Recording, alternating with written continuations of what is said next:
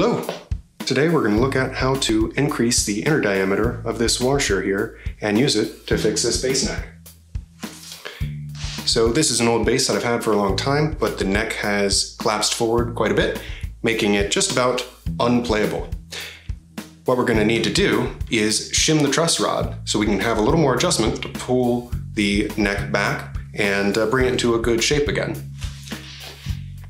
So to do that, we're going to need to take this washer, which is a 5 16 of an inch outer diameter washer, and we're going to need to increase the inner diameter to about 5 millimeters so that we can fit that on the truss rod and therefore shim it up to make hopefully a playable guitar.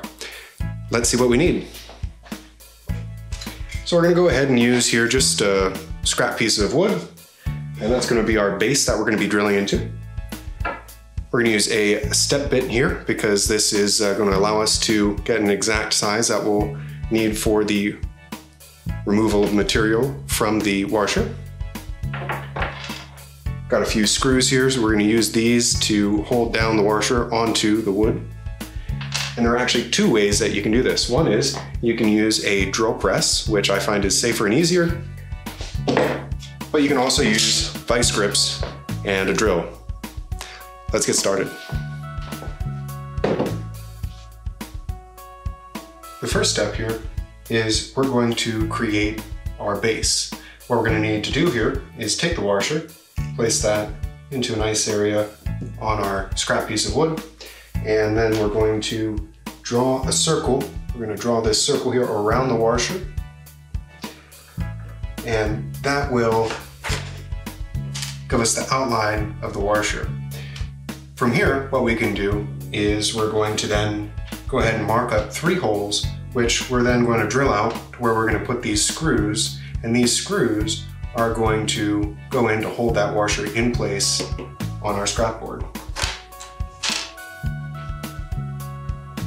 What we're going to do here is take our board that we have drawn our pattern of our washer on, and we've also marked up a Y pattern with these points where we're going to drill some holes. When we drill these holes, we want to make sure that we're not drilling into that outline of the washer because we want to be able to fit the washer inside of those three screws.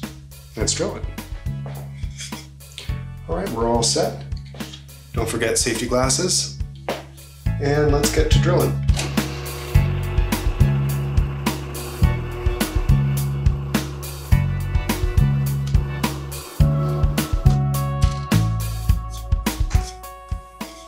Excellent. We now have those three holes drilled for the screws. Let's go ahead and screw our screws in here.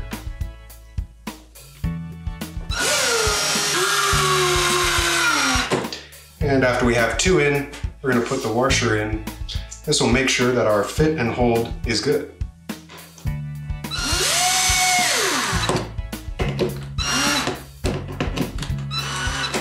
I like to fine tune with a handheld driver.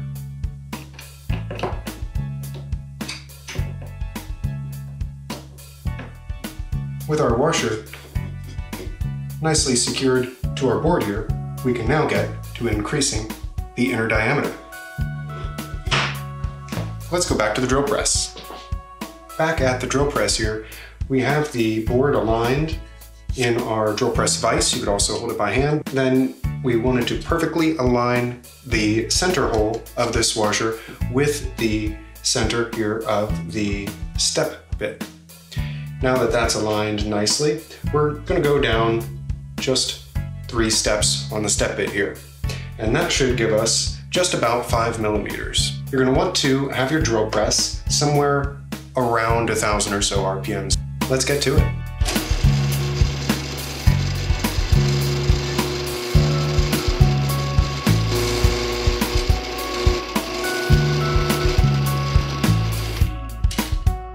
Kind of go slow and steady, in and out just a little bit here so that you can go ahead and remove the material from the workpiece. Now let's go ahead and take it off of our sacrificial board here and see what the outcome is. Well, this looks like it came out great. We can see that the inner diameter has increased. and it looks just about perfectly centered as well. Let's go ahead and remove the washer from our board here.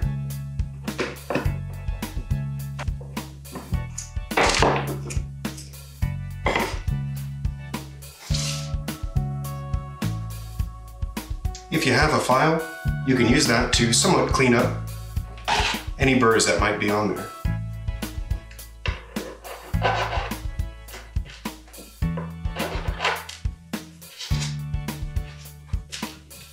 We can see here the difference between the original size and the new size. Now, as I had mentioned in the beginning, we can also do this with a drill. We don't need a drill press. You've got two options with the drill. One is the vice grips, the other is we can use this scrap piece of wood and the screws as a mount to hold it in. We're gonna go ahead and use the vice grips in here to demonstrate that. What you'll wanna do is size your grips to the size of the washer here to hold it nicely in place. You don't want too much pressure on the vice grips here. You want just enough to hold it steady because you don't want to bend the washer. Let's go ahead and drill it out now. Don't forget safety glasses again.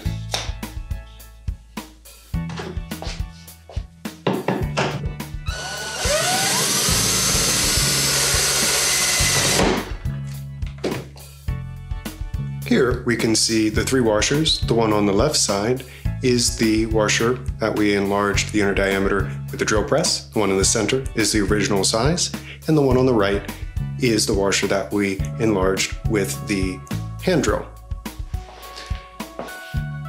Now that we've got those washers reamed out, the outer diameter will fit within our truss rod channel here, and we can use them as spacers to provide some extra pressure here to try to fix the relief of this bass neck.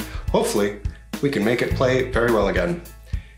Come back next time for more interesting fun tips and how-tos on music and wood.